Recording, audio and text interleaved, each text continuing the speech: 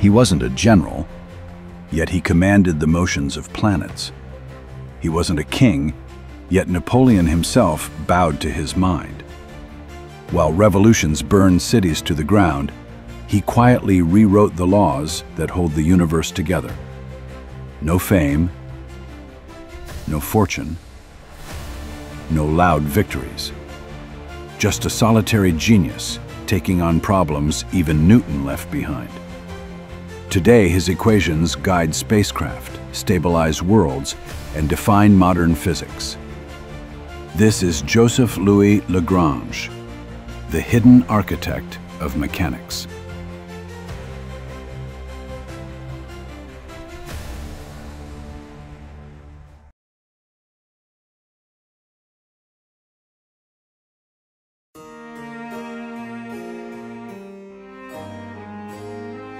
Joseph Louis Lagrange was born on January 25, 1736, in Turin, into a family of mixed French and Italian descent.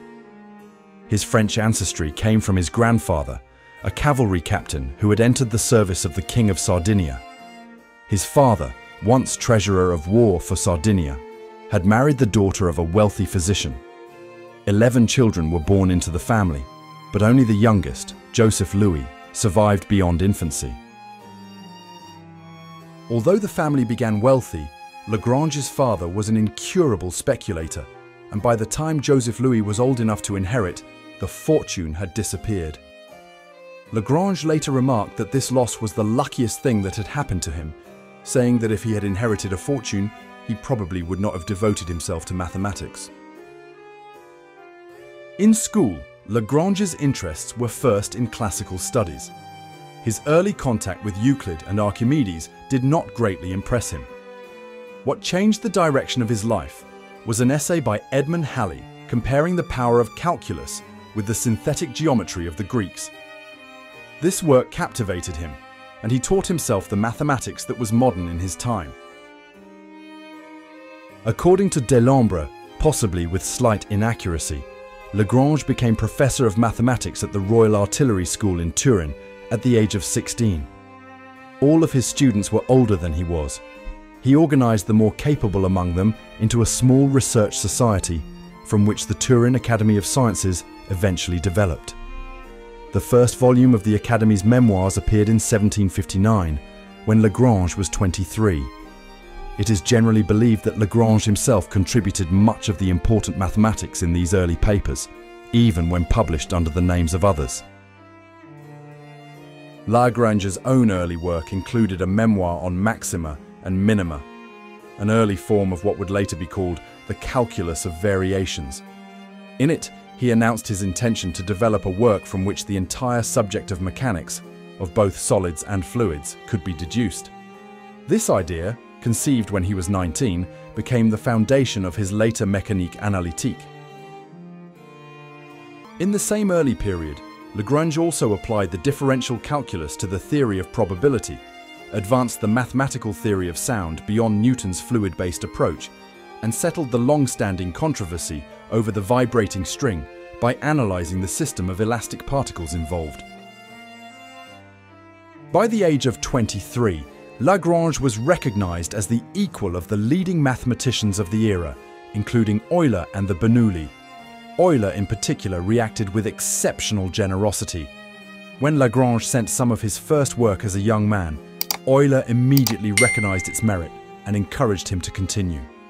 Four years later, when Lagrange sent Euler the correct method for isoperimetric problems, something Euler had struggled with for years, Euler acknowledged that Lagrange's method had allowed him to overcome difficulties that had seemed insurmountable. Euler even delayed publishing his own results so that Lagrange could claim priority. He went further still, helping secure Lagrange's election as a foreign member of the Berlin Academy on October 2, 1759, when Lagrange was 23. This recognition played an important role in establishing his reputation in Turin and abroad.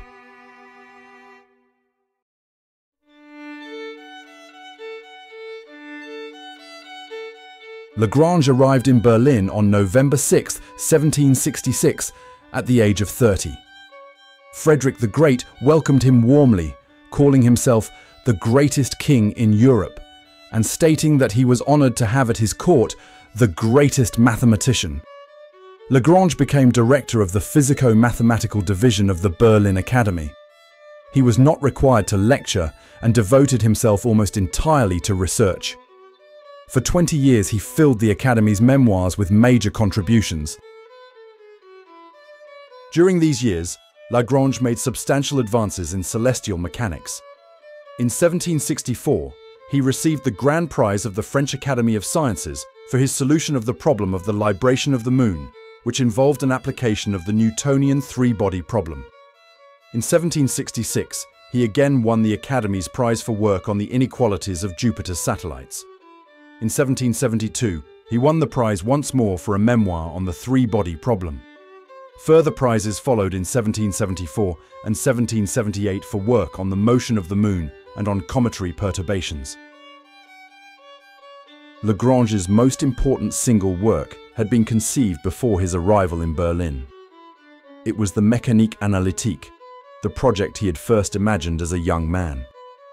In a letter of 1782 to Laplace, Lagrange wrote that he had almost completed a treatise on analytical mechanics based on a principle expressed in one of his earlier memoirs. In the preface to this work, he stated plainly, no diagrams will be found in this work.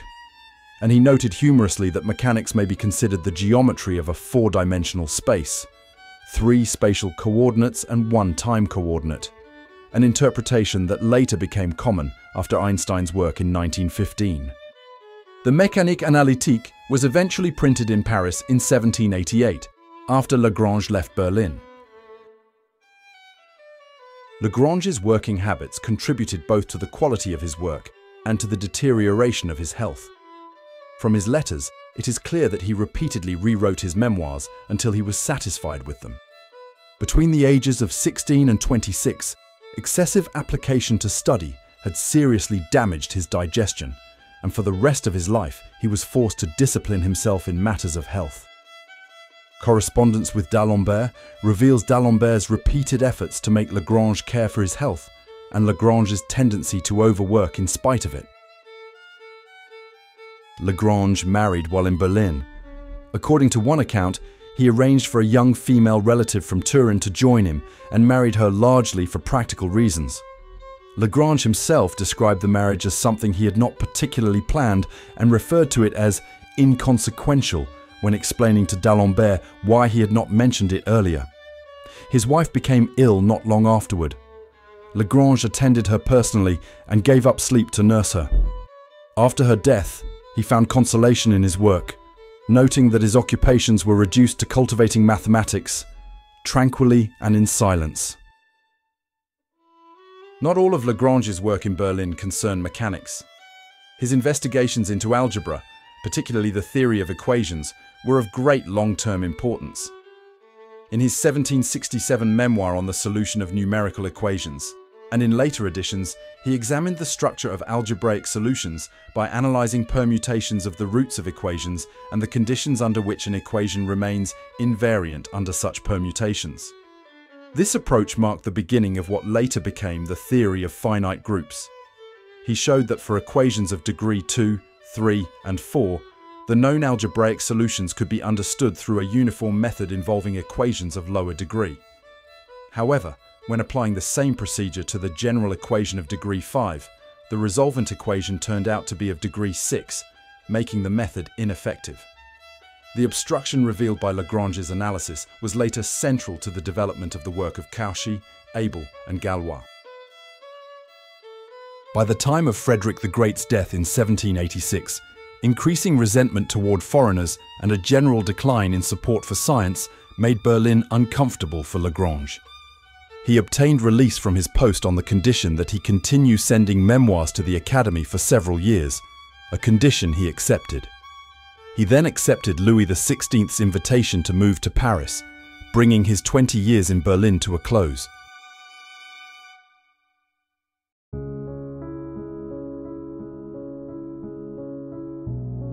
In Paris, he was received with great respect by the royal family and the Academy. He was provided with comfortable quarters in the Louvre. Marie Antoinette, nearly 19 years younger than Lagrange, became a particular supporter of his. Nevertheless, at this time, Lagrange entered a period of profound melancholy. He had become indifferent to mathematics. At Lavoisier's scientific meetings, he would sometimes stand with his back to the room, looking out of a window, showing little interest in the discussions taking place behind him. When the French Revolution began, Lagrange's indifference was interrupted. After the fall of the Bastille in July 1789, friends urged him to return to Berlin, where he would have been welcomed. But he refused, saying that he preferred to remain in Paris and observe the experiment. Neither he nor those around him foresaw the severity of the coming events. The execution of Lavoisier in 1794 particularly affected him. In response, Lagrange remarked, It took them only a moment to cause that head to fall, and a hundred years perhaps will not suffice to produce its like. In 1795, when the École Normale was established, he was appointed professor of mathematics. Although the school's first existence was brief, Lagrange lectured there.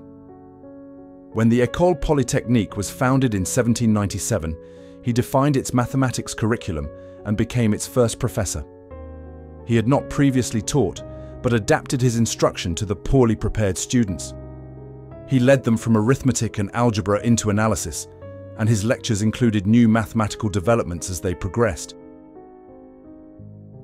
Despite his activities, Lagrange remained solitary and inclined to melancholy until at the age of 56 he married the daughter of the astronomer Lemonnier.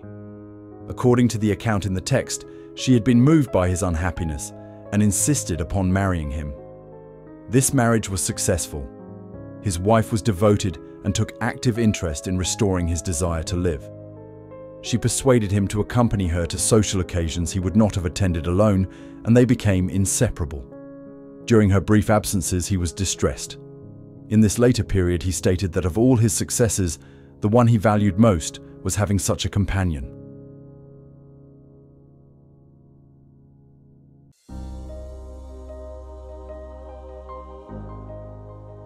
In the years following the revolution, Lagrange received a series of distinctions from Napoleon. Napoleon made him a senator, a count of the empire, and a grand officer of the Legion of Honor. When France annexed Piedmont in 1796, Talleyrand was instructed to visit Lagrange's father in Turin and inform him that your son, whom Piedmont is proud to have produced and France to possess, has done honor to all mankind by his genius. In his 70s, Lagrange undertook the revision and extension of the Mécanique Analytique for a second edition. During this period, he experienced fainting spells, particularly when rising from bed. On one occasion, his wife found him unconscious on the floor with a severe head injury from striking the edge of a table. As his health declined, Lagrange regarded death without anxiety. Two days before he died, some of his friends, including Monge, visited him. He told them that he had recently experienced a period in which he believed he was going to die. He remarked, In a few moments there will be no more functions anywhere. Death will be everywhere. Death is only the absolute repose of the body. Shortly after his friends left, another fainting spell occurred. This time he did not regain consciousness. Lagrange died on the morning of April 10, 1813, in his 76th year. Joseph Louis Lagrange left the world as he had lived in it, gently, without display, and with a mind still seeking clarity until the final moment. He asked for little, gave much, and changed the course of mathematics with a steady hand and a quiet spirit. Behind the equations was a man who endured loneliness, found companionship late, weathered revolution, and devoted his life to understanding the order hidden within the world. His work lives on. His influence endures. And the calm voice he brought to the science of motion still speaks to us today across two centuries of discovery. This is the legacy of Lagrange, simple, profound, and lasting.